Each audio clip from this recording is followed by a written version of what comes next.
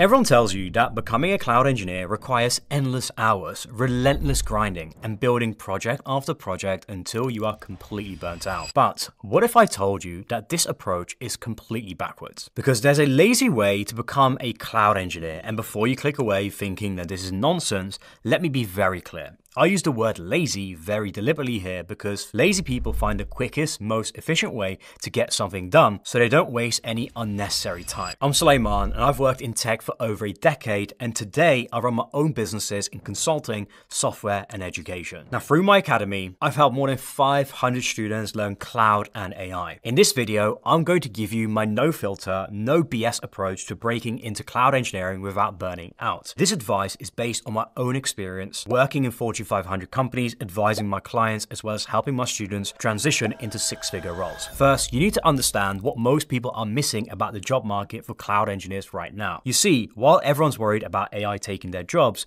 something massive is happening behind the scenes. The AI industry is creating the largest infrastructure boom in human history, and cloud engineers are at the center of all of it. Microsoft, Google, Meta, and Amazon are all spending over $320 billion in 2025 on AI infrastructure alone. And today, cloud providers are now AI providers as much as they are cloud providers because the cloud solves one fundamental bottleneck for AI. It allows AI to scale. And in 2025 and going forward, AI and cloud have become inseparable partners, so you can't have one without the other. Every company trying to integrate AI into their business needs cloud infrastructure to make it work. So while people are paralyzed by fear and layoffs, there's an unprecedented demand for cloud engineers. And the numbers paint the clearest picture. The cloud computing market is growing at 21% this year, worth around $900 billion. But over the next decade, it's going to explode to over $5 trillion. That's a tsunami like expansion happening right in front of our eyes. The question isn't whether you should learn cloud engineering in 2025, it's whether you'll learn it the hard way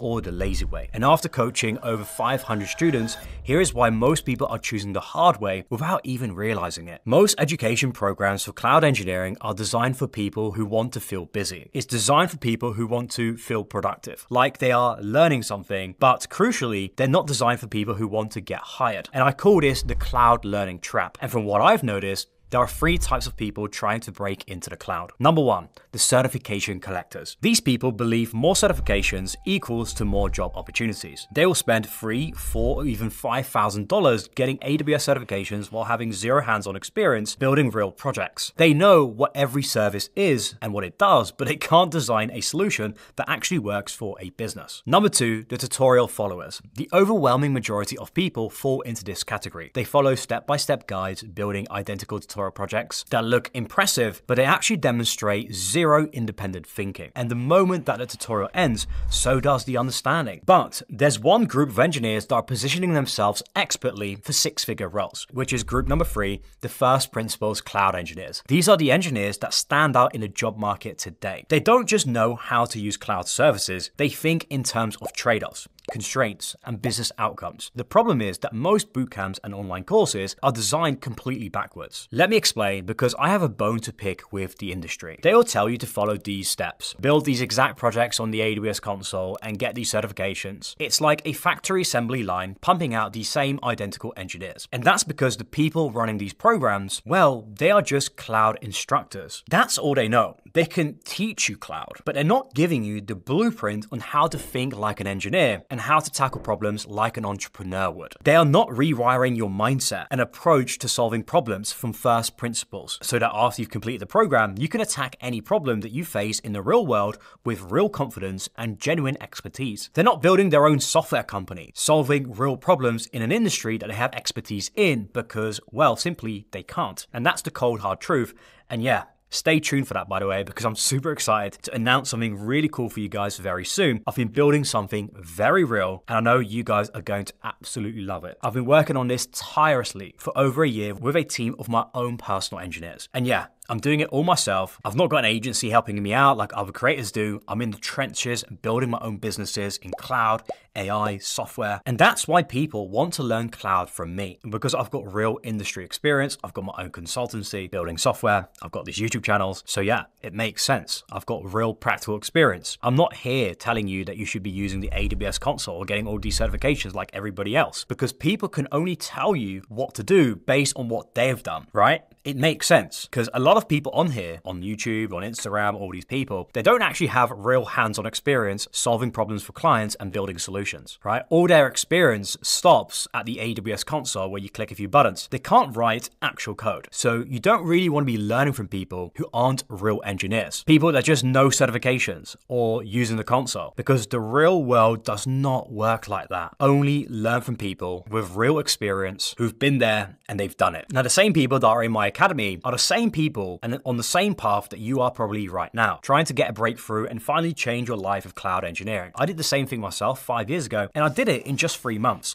So I know what it's like. I know the struggle of being laid off and having your back against the wall, trying to learn a new skill set to get hired in tech. Maybe I've slightly gone off a tangent here. I think it's really important for everyone to truly understand that. And this is something that I've learned over the years. And I think as every day passes, it becomes more apparent to me, especially in today's world. It's very important for you to understand that you shouldn't take advice from someone who isn't in the place that you want to reach. So, back to what I was saying, most beginners are stuck in this cloud learning trap. It's quite simply because of the advice that tells you to learn all the services. They're telling beginners that you need to master Kubernetes and get every certification. And sure, this approach might eventually work by luck because after a few years, you just covered everything. But it's inefficient and quite frankly, it's very demotivating and frustrating to go through because simply there's a better approach, and it's what I call the super 80 20. Now, you've probably heard of the Pareto principle, the 80 20 rule. That's 20% of your effort typically produces 80% of your results. But here is what most people don't realize. When you're learning something technical, like the cloud, this rule becomes even more extreme. It's not 80 20, it's closer to 95 to 5. 5% of cloud tools and services will give you 95% of practical problem solving ability. 5% of your learning time spent on the right fundamentals beats all of the time spent grinding through every AWS service. Think about it. There are over 200 AWS services. And how many of these do senior engineers actually use often? Maybe 10, max 15. And this is why you see engineers who've been learning cloud for two years still struggling to get hired, while others are landing 150k positions after just three to six months of focused strategic learning. The difference isn't in the talent or the work ethic, it's knowing which 5% actually matters. So, how do you identify and focus on the critical 5%? That's where the lazy framework comes in, and there is four steps. Step one is pattern recognition over memorization. Instead of trying to memorize every AWS service, focus on understanding the fundamental patterns of cloud architectures. Once you see that most cloud solutions follow similar patterns, you need compute power, you need to store data, you need to connect things securely, and you need to monitor everything. You can architect solutions way faster. When I study any new cloud concept, I ask four key questions. What business problem does this solve? Why would a company choose this over other alternatives? In what scenario would this approach fail? And how does this fit into the bigger architectural picture? These questions force your brain to build connections and not just store isolated facts. But knowing patterns is only half the battle. You need to prove that you can apply them, which is step number two strategic project building. Everyone says build projects, but they don't tell you which projects actually matter for cloud engineering. And here is the lazy approach pick one problem domain that you understand better than most people. If you've worked in ecom, build a cloud solution for retail. If you understand legal or healthcare, take your knowledge and build something using the cloud to solve a problem. Focus on building something that shows both technical and business sides of cloud infrastructure. And in 2025, there's an additional advantage that you can leverage, which is step number three the AI integration. AI tools like Claude and ChatGPT can accelerate your learning, but most people are using them in the complete wrong way. You can turn AI into your practice partner. Ask it to role play as a startup CEO and throw real challenges that businesses are facing, and you focus on solving these problems. Get AI to generate realistic realistic scenarios where an AWS service could fail and how you would architect around each one. So you're not just learning services in isolation, you're building architectural thinking. The key here is using AI to practice your strategic thinking and not to avoid thinking altogether. The point is, a lazy cloud engineer isn't competing with AI, they are using it to elevate their ability to think and solve harder problems, which in turn allows you to command way higher salaries because, as Elon Musk says, we're all paid in direct proportion to the difficulty difficulty of the problems that we solve. But even with all of these advantages, there is one element that accelerates everything else, which is step number four mentorship. I've touched on this earlier. This isn't anything new. This has been around for many years. And the grind alone crowd, the hero's arc that everyone wants to buy into, the DIY approach, they're all ignoring one crucial thing. Every world class athlete has coaches and mentors. Michael Jordan had Tim Grover. Messi and Ronaldo have coaches. Djokovic has a coach. The best athletes in the world have coaches to mentor them and help them through. Yet somehow people think as a complete beginner trying to learn something new, they should learn in complete isolation.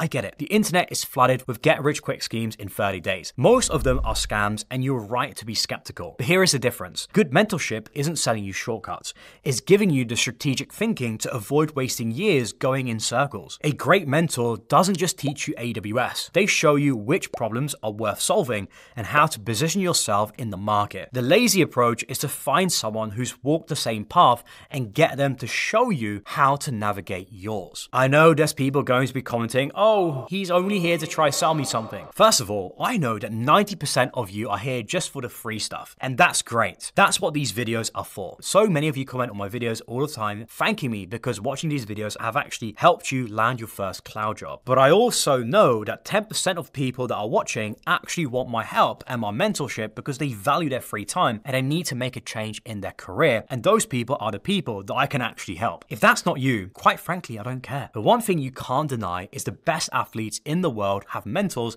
and coaches helping them, giving them an extra edge. LeBron James literally spends over $1 million on his body every single year. So make of that what you will. Now, look, I know this journey that you're on feels overwhelming at times. The pace of change in cloud, in tech, the AI transformation is happening right now. The pressure to learn everything. Maybe you've been stuck in tutorial hell for months. Maybe you've spent some money on certifications that haven't led to anywhere. Maybe you're wondering if you're even cut out for this. Those feelings are completely normal whenever you're starting something new. It's meant to be hard. But to get to where you want to go, you have to find a better path forward. So start small pick one business problem that you understand, maybe from your current job or from previous experiences. Spend a few minutes each day thinking about how cloud infrastructure could solve it better. Don't worry about being perfect from day one. Instead, focus on making progress every single day because in 2025, the AI infrastructure boom is creating opportunities that we have never seen before. Companies are hiring cloud engineers who can bridge the gap between technical solutions and business needs. Now, that could be you. Whether you're starting from zero or you've been stuck for months, it's never too late because the cloud isn't going anywhere. So take your time, but take